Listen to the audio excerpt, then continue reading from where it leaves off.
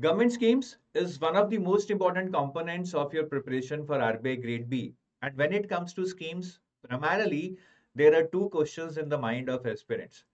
Consi schemes which schemes are important?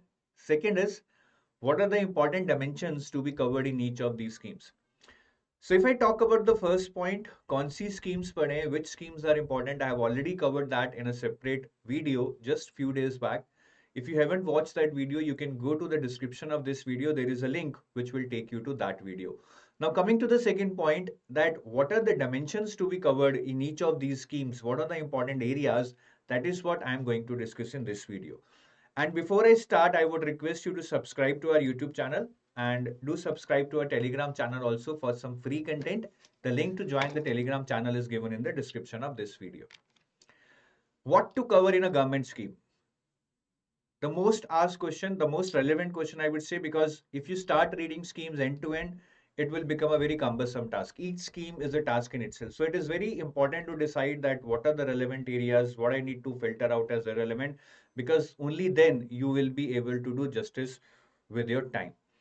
So as per our research, when we analyzed all the previous year papers of RBI Grade B starting 2020, uh, 2017 till 2021, what we have found is that these are the dimensions which are the most important 90% of the times the questions are being asked from these dimensions तो इन dimensions को हम discuss करेंगे along with uh, now snapshots of the previous year questions that have been asked based upon these dimensions जो सबसे पहली और important dimension है identify the scheme that is they will give you a passage in which they will not mention the scheme name and based upon that passage the first question would be that which scheme is being discussed in the passage. That is, that is, they will ask you to identify the scheme which is being discussed in the passage.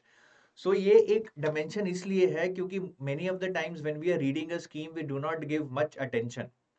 हमें लगता है कि अच्छा हमें ये पता लग गया है बट जब उस स्कीम को बिना नाम के पैसेज के थ्रू बताया जाता है it very it becomes very hard to correlate you can correlate only if you have good understanding of that scheme so whenever you read a scheme, do not just try to cram, try to have an understanding because in exam they will ask you that this passage is related to which scheme. वो तभी answer कर पाएंगे अगर आपको अच्छी understanding है. Next, eligible beneficiaries. This is again one of the most common questions I would say. For example, in 2021 exam, there was a question on PM Kisan in which they asked that all landholder farmers families in the country are eligible for PM Kisan scheme except so here basically they are asking that which of the following options is not eligible to take benefits under PM Kisan scheme. So eligible beneficiaries pata honi bahut zaruri hai that who all are eligible to take benefits under this scheme. Next is nodal ministry. For example, in 2019 exam, I think there was a question on Jal Shakti Abhiyan uh, and one of the question was that uh, which ministry is basically coordinating this Jal Shakti Abhiyan? The answer was Ministry of Jal Shakti. So nodal ministry that is implementing ministry, they can also ask you in the exam. Next is launch year. They might ask you about the launch year that when a particular scheme was launched, it was started in which year. But usse bhi zyada important hai funding pattern. Many of the schemes are you know, launched by center, implemented by states. The budget is divided between center and state in certain proportions. So they might ask you, for example, in 2021 scheme, uh, for Amrut scheme, they asked that financial uh, funding of this scheme between center and state is done on what basis? 60-40 hai, 50-50 hai, 70-30 hai, 82 hai. This is this is regarding the funding pattern of that scheme between center and state जो कि आपको पता होना चाहिए. Next is objectives.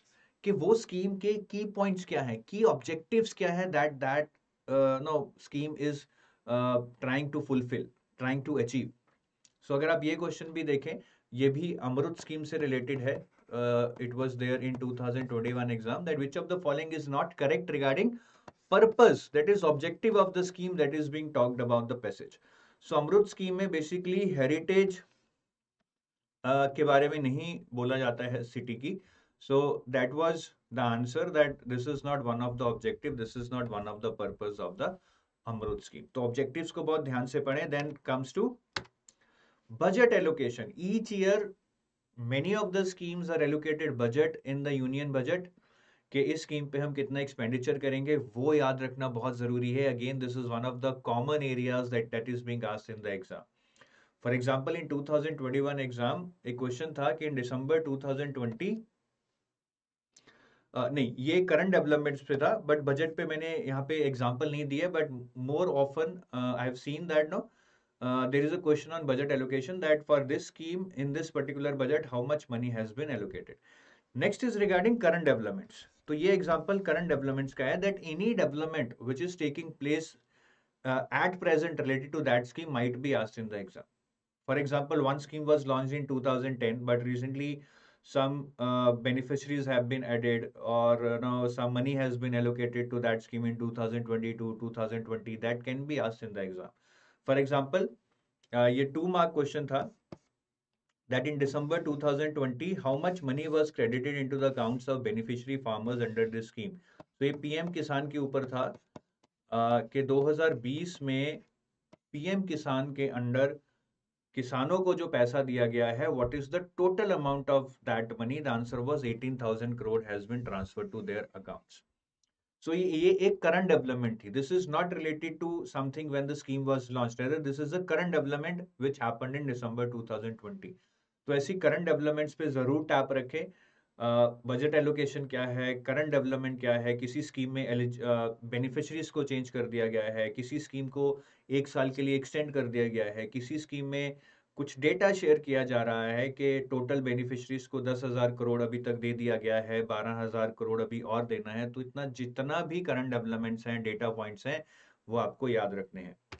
Next is tagline tagline Now, certain schemes have also their taglines, which is very important to remember. For example, there was question in 2019 exam that which of the following is tagline of the scheme mentioned in the passage and the scheme in the passage was basically skill india mission if i remember it correctly.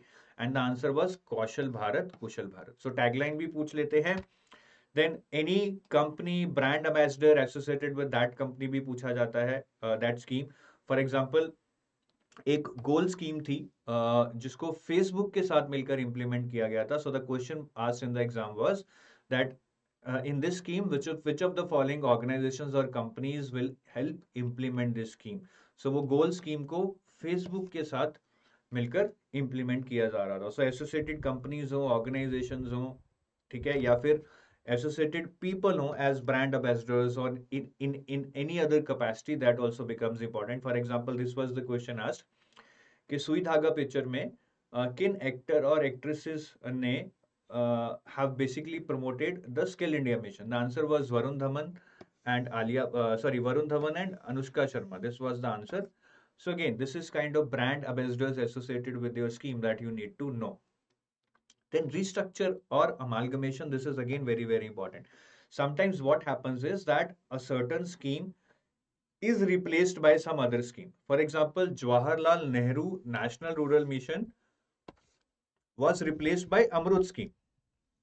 है सो अमृत scheme के ऊपर passage हो गए and they will ask that this scheme replaced which scheme so answer होगा J N N U R F तो ऐसे question आ जाते हैं या फिर एक स्कीम को बहुत सारी स्कीम्स के स्कीम्स जोड़कर बनाया जाता है। फॉर एग्ज़ाम्पल नो स्वर्ण Jayanti Gram Swarozgar Yojana basically replaced all the schemes इन सारी स्कीम्स को जोड़कर एक स्कीम बनाई गई, जिसने इनको सबको रिप्लेस कर दिया दैट वॉज़ स्वर्ण Jayanti Gram Swarozgar Yojana so this kind of question can also be us in this exam that this scheme was basically carved out of many schemes और this scheme replace many other schemes what are those schemes? तो ये छह schemes को replace किया था। तो कोई भी restructuring हो, किसी स्कीम को रीनेम किया जाए, किसी स्कीम को किसी से रिप्लेस किया जाए, किसी स्कीम को किसी में अमेलगमेट किया जाए, वो सारी चीज़ें आपको पता होनी चाहिए। These areas are also very very important for your exam so guys to summarise these are the most important dimension ये बारह डायमेंशन हैं।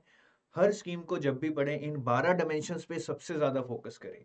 Sir can we leave the rest वैसे तो कुछ बचेगा नहीं। बिकॉज़ स्कीम में जो बाकी डिटेल्स होती हैं, वो generally objectives, purpose, key points, वो इसी पॉइंट में कवर हो जाएँगे बट फिर भी if there is very much detail which you feel no is becoming too much cumbersome to cover आप इन्हीं बारह डायमेंशन पे फोकस करें बाकी चीज़ों पे लेस प्रायोरिटी दें because in exam as I told you in the beginning 90 percent chances are that the question would be based upon only these dimensions which I've discussed with you. Thank you. I will get, you will get a lot of clarity as in what to cover in a scheme and what to not cover in a scheme because that will help you save a lot of time and you can use that time more efficiently for your preparation. Have a nice day. Bye bye.